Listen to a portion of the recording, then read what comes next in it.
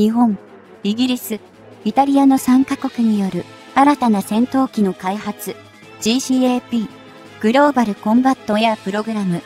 グローバルコンバットエアープログラムがついに本格始動しました。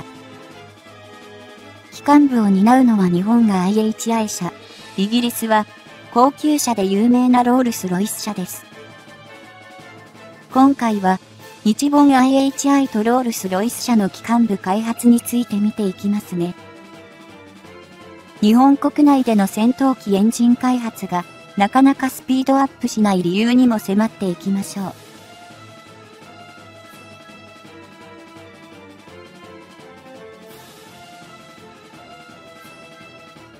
2022年12月9日、日本とイギリスとイタリアの3カ国は、新たな戦闘機開発の枠組みを GCAP と名付けて共同開発で行うと正式に発表しました。すでに前年2021年末には日本の IHI 社とイギリスのロールス・ロイス社が新たな戦闘機機関部の実証事業を行うこと、2022年2月には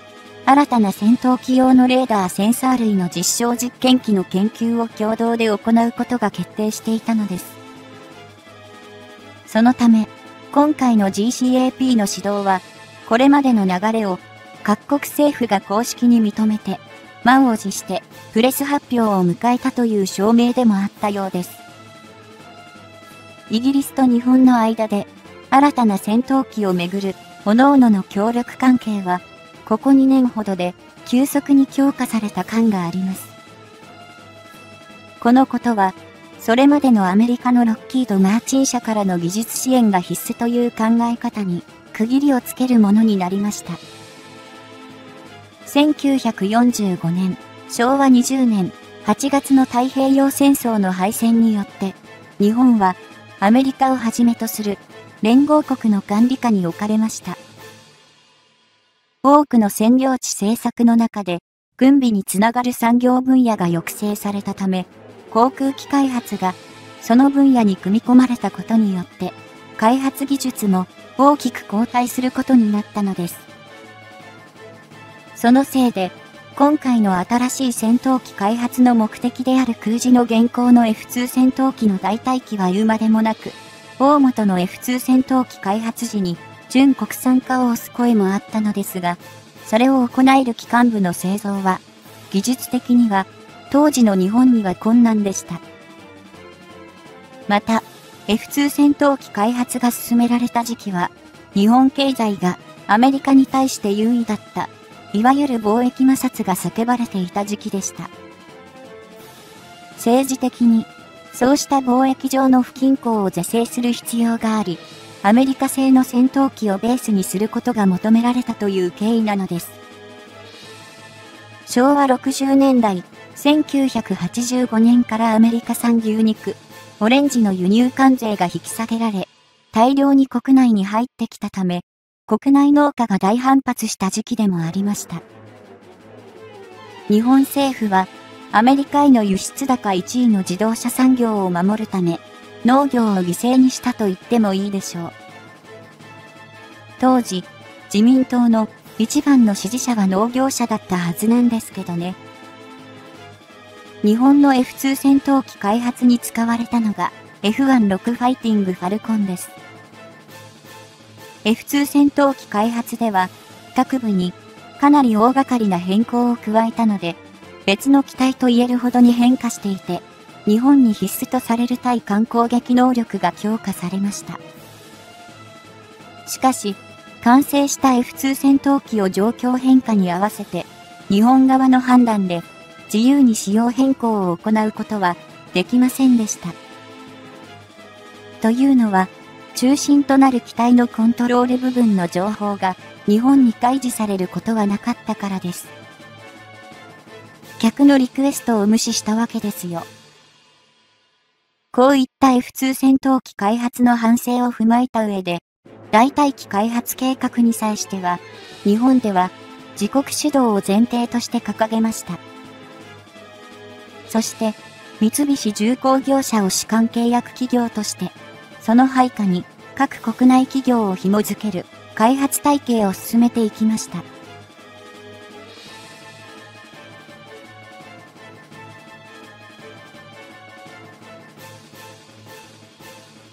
アメリカのロッキード・マーチン社に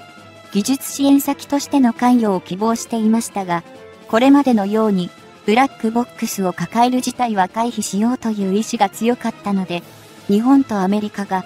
どの点で折り合うのかにも注目が集まっていたのです。しかし、結果として日本はイギリスとイタリアとの3カ国での戦闘機開発という初めての道を選択しました。これまでのアメリカやロッキード・マーチン社等より、ずっと、フラットで、対等な関係での開発が進められるのではないかと、各方面から期待が寄せられています。そして、今回の日本における GCAP への布陣は、全体の統括と機体本体を、三菱重工業者、機関部を、IHI 社、レーダーセンサー類の電子機器等を三菱電機が担う体制になっています。イギリスの場合は、全体の統括と機体本体を BAE システムズ社、機関部をロールスロイス社、レーダーセンサー類の電子機器等をレオナルド UK 社が担当することが公表されていて、テンペスト計画そのままということですね。もともと GCAP が確定する以前は、F2 戦闘機代替機には IHI 社が製造する国産の機関部を搭載することが有力視されていました。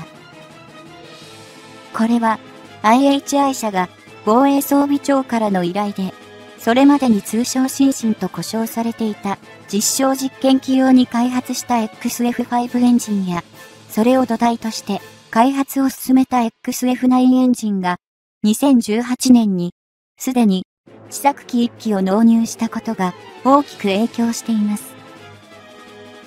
そこで製造された XF9 エンジンは、地上での動作確認ではありますが、アフターバーナーの使用時には、最大推力約15トン以上、空気吸入用のタービンの入り口付近の温度でも約1800度 C を記録し、世界標準クラスの数値を叩き出したのです。この XF9 エンジンの研究開発は、IHI 社では2010年、平成22年から開始されたもので、新しい戦闘機への搭載を前提として進められ、当初の基本コンセプトは、スリムでありつつ、大出力を確保するというエンジンを標榜していました。その理由は、XF9 エンジンを搭載する戦闘機にステルス性能を極限まで高めるために、スリム化を推し進め、同時に搭載する燃料や並走の収納スペースを拡大することが大きな目的だったからです。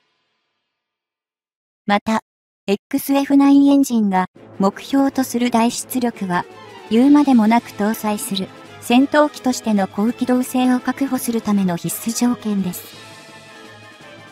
近年は戦闘機同士の空対空戦闘は、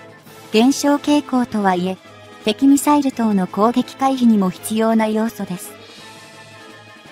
このようなスリム化、大出力という目標に対して、一定の数値的達成を見せていた XF9 エンジンではあるが、実際の機体に搭載した状態でのテストが行われたわけではないので、即実用化とはいかないようです。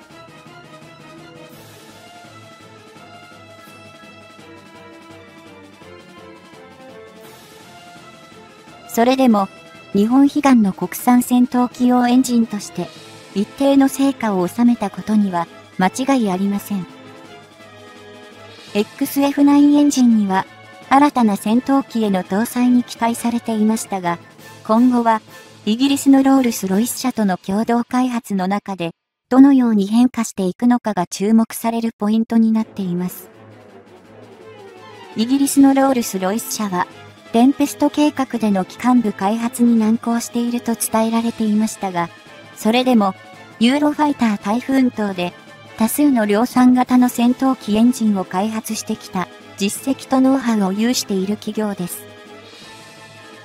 個人的には、ロールス・ロイス社が持つ技術力は、少なくとも IHI 社の XF9 エンジンよりもこれからの戦闘機により求められる発電能力と冷却性能の分野で先行しているように感じられるので、やはり、この会社が開発の主導権を握ると思われます。ここまで開発を行ってきた IHI 社の XF9 エンジンですが、発電や冷却とな、どの機能では譲る部分もあるので、今までの積み重ねを活かしつつ、量産化とコストの低減に最適な選択となることに期待したいものです。IHI 社について少し紹介しましょう。現在の社名となったのは2007年、平成19年からですが、それまでは石川島播磨重工業者として日本の重工業を支える一角となっていました。歴史は古く、創業は江戸末期に遡ります。航空機用のジェットエンジンの分野では、国内の6割以上のシェアを誇ります。現在、航空自衛隊が運用中の F2 戦闘機に搭載されるゼネラルエレクトリック社製の F110 エンジンや、F15J イーグル戦闘機に搭載されるプラットホイットニー社製の F100 エンジンも、IHI 社がライセンス生産したものを搭載しています。IHI 社が開発し、実用化、量産化されているエンジンとしては、海上自衛隊が2013年、平成25年から運用を開始した B1 小回機に搭載された F7 エンジンがあります。これは、ターボファン形式の高バイパス比エンジンとして民生品への応用も模索されているようです。ちなみに、海自のヘリコプター搭載型護衛艦のいずも型や、最新鋭イージス護衛艦マヤ型等を建造した企業はジャパンマリンユナイテッド社ですが、この会社は IHI 社の造船部門から派生した企業ですから、この会社が持っている高い技術力がわかりますね。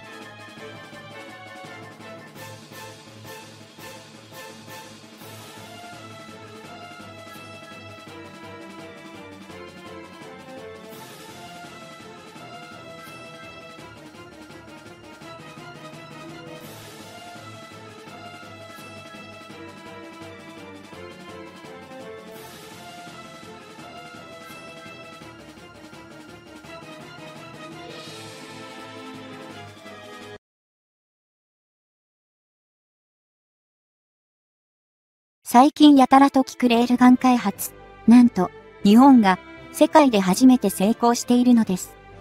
今回は、このレールガンが複数枚の鉄板を打ち抜く性能を詳しく見ていきます。レールガン開発はアメリカでも断念した開発です。日本が完成間近と小型化され、陸上自衛隊でも利用可能でしす。欠点は、電力の使用量が半端ないところでしょう。巡視船にも搭載できるのではないかと考えますし、次世代兵器となり輸出も見えてきます。今のメガネ内閣では無理だよね。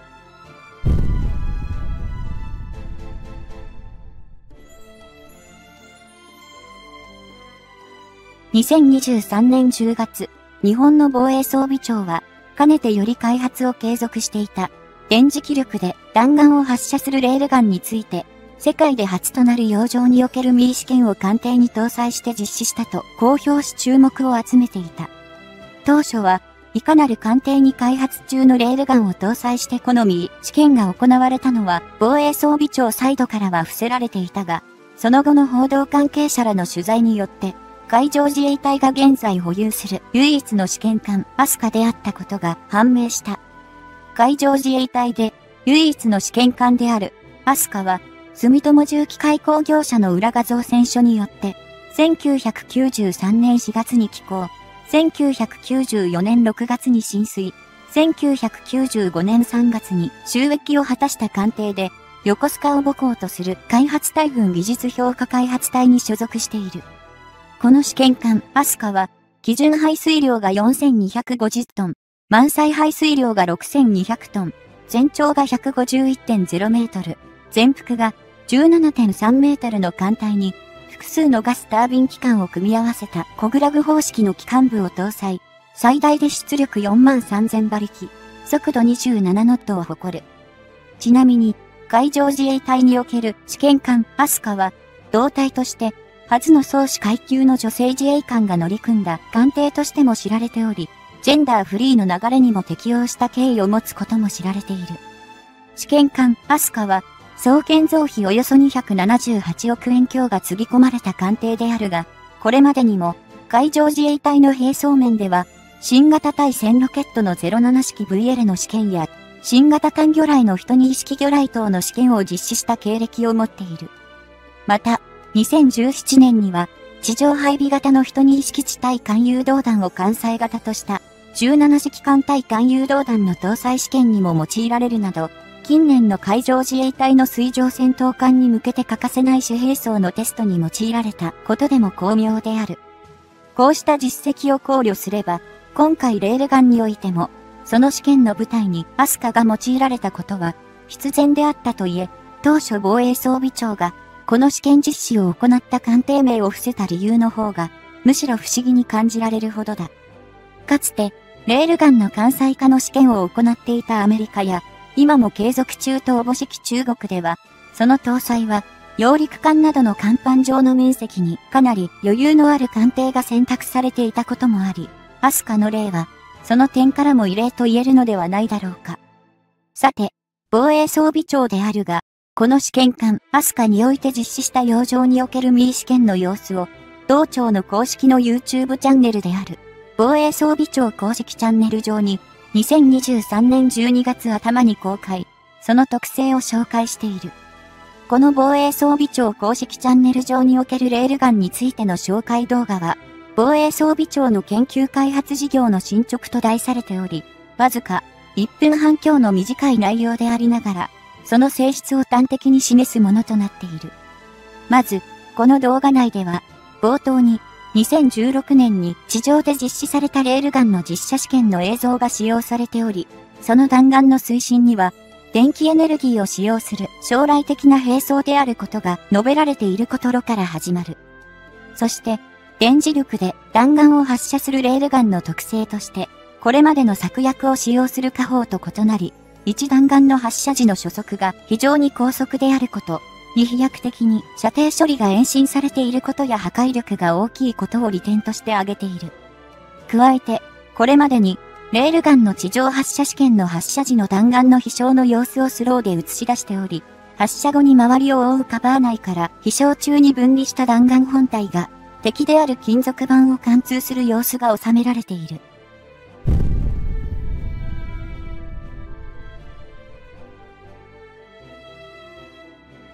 この金属板は、通常の水上戦闘艦の複数枚の装甲板を想定したものであるとされており、これを撃ち抜くことは、対艦攻撃用の兵装として、十分な威力を発揮するであろうことが期待されていると視覚的に示す内容となっている。動画では、続けて、試験艦アスカに搭載されたレールガンの洋上発射の実際の映像が流され、その後は CG で発射後の弾丸が飛翔し、敵の水上戦闘艦に命中。これを貫通するシーンがイメージ映像として映し出される。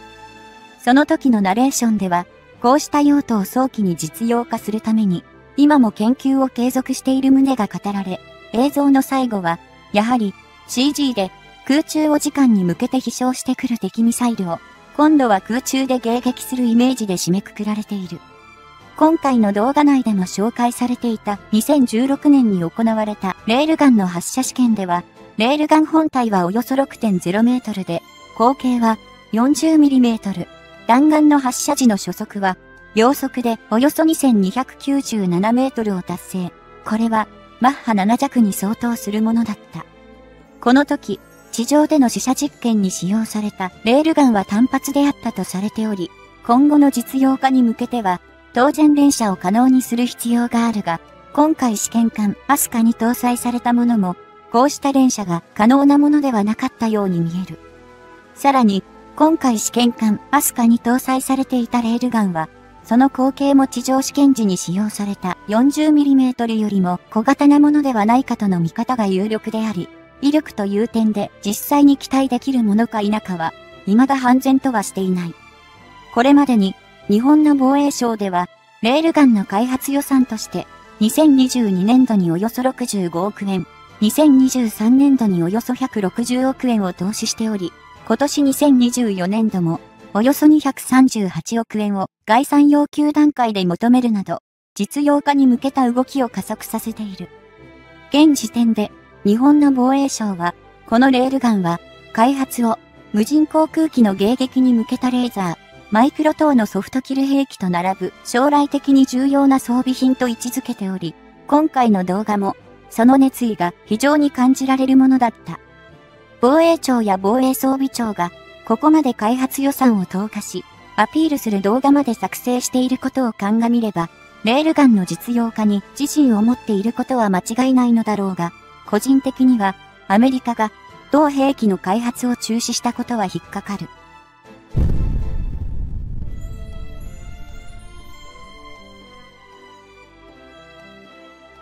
アメリカでは、日本より先行してレールガン開発、その艦艇搭載での試験まで、イギリスを代表する BAE システムズ社らと共同でこぎつけていたものの、兵器として実用化することにはメリットがないと判断した経緯がある。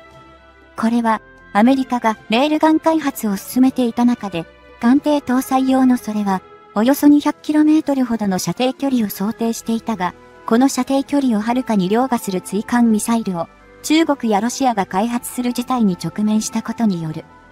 そのため、アメリカでは、レールガンを実用化する意味を喪失したと言われているが、そもそも、レールガンの運用が、そのままで、可能な現行の水上戦闘艦は、スムウォルト級ミサイル駆逐艦程度しか存在せず、その点もネックになったとめされている。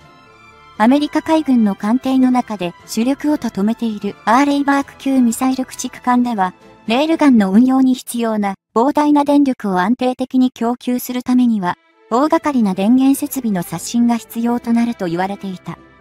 無論、アーレイバーク級に代わる次世代艦水上戦闘艦の開発も行っているアメリカ海軍だが、その新型艦 DDG-X の建造は、早く、とも2028年以降に開始予定となっており、すぐに、ある程度の数が収益することにはならない。そうした観点からも、アメリカがレールガン開発を中止したことは、理にかなった判断だったとも感じられ、逆に、中国海軍は、アメリカですら開発を諦めたレールガンを実用化することで、自国の技術力を誇示する狙いがあると考えられている。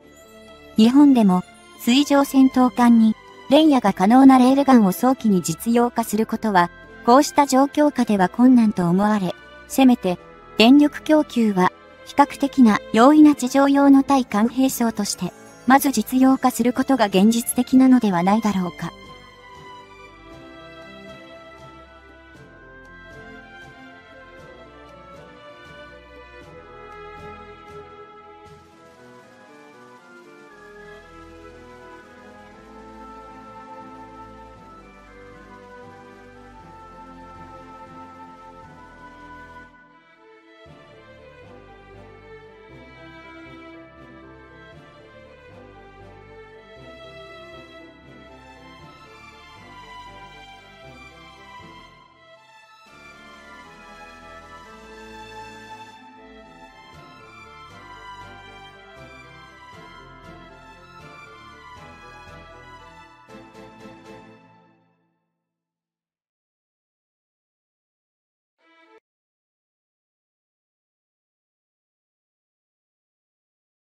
上型護衛艦、6番艦アガノが浸水したという情報を入手しました。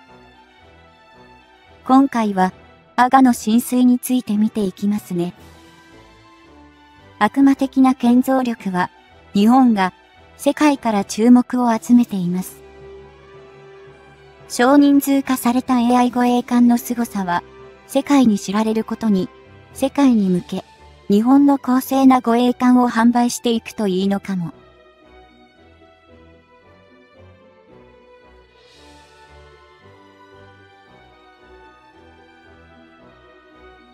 海上自衛隊が急ピッチで建造を進めているもが味型護衛艦。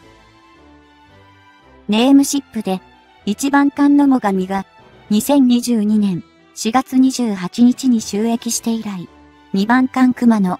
3番艦の死、ロが2022年中に収益しました。続く4番艦三熊が2023年3月収益予定。5番艦矢作と6番艦阿賀野が浸水して偽装中です。このように、1年に2隻というハイペースで建造が進められ、現時点では22隻が配備される予定になっています。ちなみに、各艦の名前を見てお分かりのように、も、神型護衛艦シリーズには、日本国内の河川の名前が付けられています。このもが味型護衛艦は、従来までの護衛艦とは、コンセプトが違うようで、FFM という新しい艦種記号が与えられています。FF はフリゲート艦を表し、艦隊サイズとしては、おおむね、駆逐艦より小さく、コルベットより大きいとされていて、空母など戦闘艦を護衛する駆逐艦と同じ対戦、防空能力を備えてはいるのですが、揚陸部隊、補給部隊、小船団などの艦隊護衛が主な任務ということです。そして、M は多目的、マルチファンクショナルと嫌い、マインの頭文字の M を合わせたもので、もが、味型護衛艦は、対戦、対空、対艦における護衛艦にこれまでの求められてきた艦隊護衛任務をはじめ、総海艇が担当してきた機雷戦まで、文字通り、多目的な作戦に従事できる監視なのです。海上自衛隊は、これまで運用してきた護衛艦は、諸外国海軍における駆逐艦、デストロイヤーと同様の位置づけにしていました。その中で、秋月型のように対戦戦闘、対艦戦闘、対空戦闘のバランスが取れた護衛艦を、汎用型護衛艦として DD という監視記号を付与していました。海上自衛隊の監視記号は、この他にもあります。例えば、混合型のように、艦対空ミサイルを多数搭載し、艦対防空を主な任務とするイージス護衛艦には、誘導ミサイル、ガイディット、ミサイルの G をつけて DDG としています。出雲、型やヒューガ型のようにヘリコプターを搭載して対戦作戦などを担当する護衛艦には、ヘリコプター、ヘリコプタールの H をつけて DDH としています。また、汎用型護衛艦 DD に比べて小型で、どちらかといえば、近海での活動を主担当とする、アブクマ型などの護衛艦には、護衛、エスコールトの E をつけて、DE という監視記号がついているということです。海上自衛隊では、一定規模以上の艦艇は、すべて護衛艦という故障で統一しているので、フリゲート艦という艦士の設定は、太平洋戦争終戦直後、アメリカから旧型フリゲート艦の供与を受けて、1950年代から1970年代まで運用していた、クス型護衛艦以来となります。この FFM もが、味型護衛艦の構想が明らかになったのは、2013年12月に発表された25大綱によります。その中には、日本周辺の中国、ロシア、北朝鮮の海洋での軍事活動が活発になったため、海上自衛隊における情報収集、警戒監視任務が著しく増大してきたことに対して、そういった任務に対応する能力が護衛艦に要求されるようになったためです。沿岸防備部隊として、いわゆる護衛隊軍に所属しない護衛隊、艦番号が10番台あるいは2桁の護衛隊の増加に加えて、海地が常時保有し運用する護衛艦を47隻から54隻に増強することになっていました。しかし、2014年から2024年の間に旧式護衛艦4隻が退役する予定とされていたため、それらを入れ替えながら増強を図ることを目的として、多様な任務への対応能力の向上と、艦隊のコンパクト化を両立させた新型艦艇が必要であるとして FFM という新艦士のもが、味型が計画されたのです。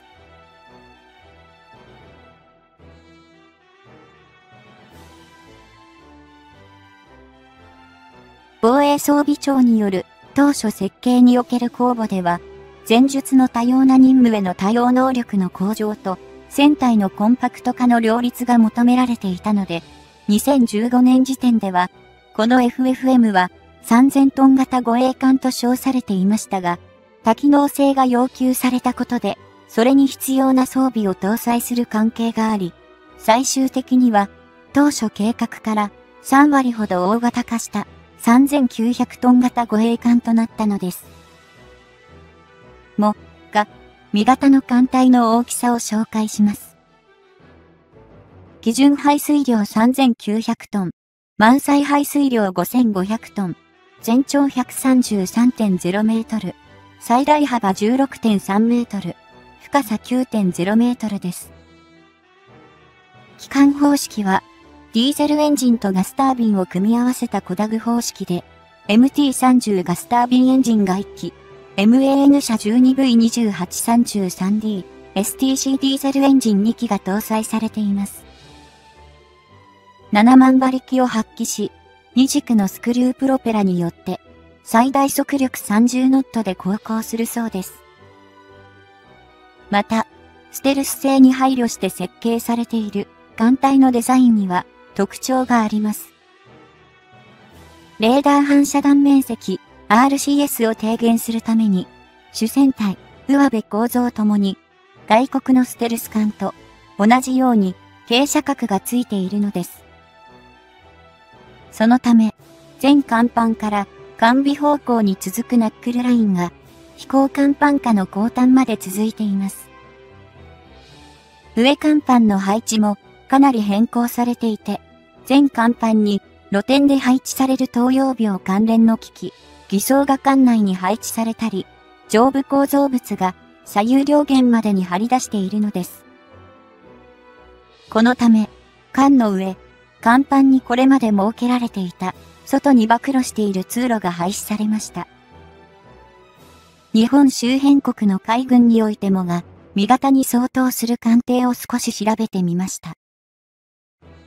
中国海軍では、054A 型と呼ばれている、航海2型、チャン海型フリゲートです。ロシア海軍ではアドミラル・ゴルシコフ級フリゲートです。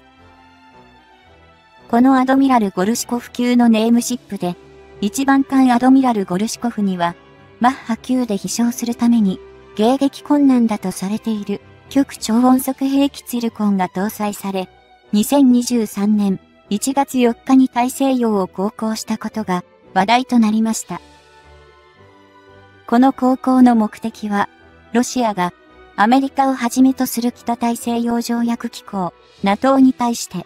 極超音速をいつでも発射可能であると見せつけ、脅威と感じさせることが目的だったと推測されています。そのアドミラル・ゴルシコフ級フリゲートは、主兵装の VLS 垂直発射管を32セル搭載していますが、も、ガミ型は、その半分の16セルしか搭載していません。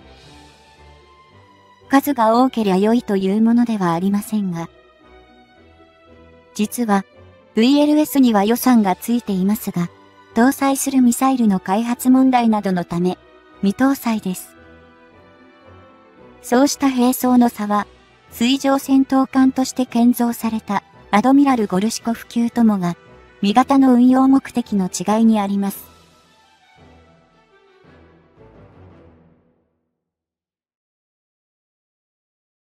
も、が、味型は、対空、対艦、対戦闘のバランスの取れた兵装を持ち、機雷除去、及び、不設の機雷戦能力までをも付与された文字通りマルチな多用途感であることを物語っているのです。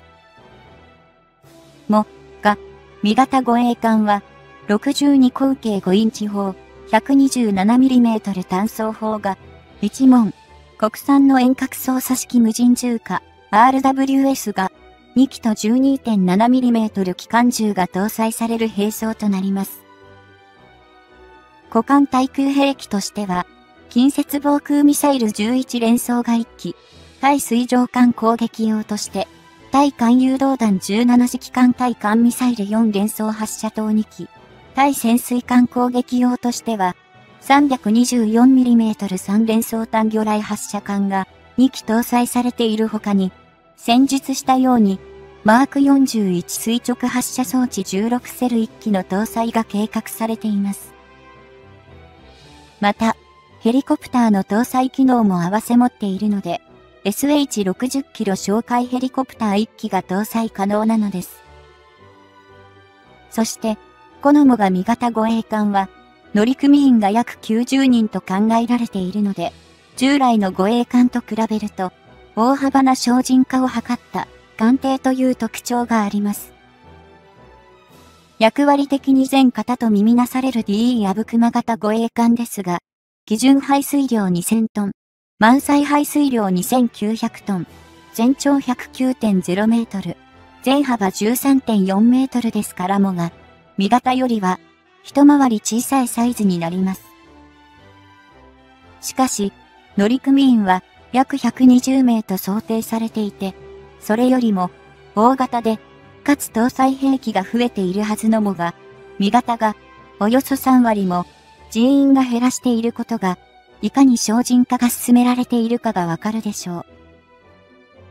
消費と化に伴い、モガ味型では、クルー製の導入が予定されています。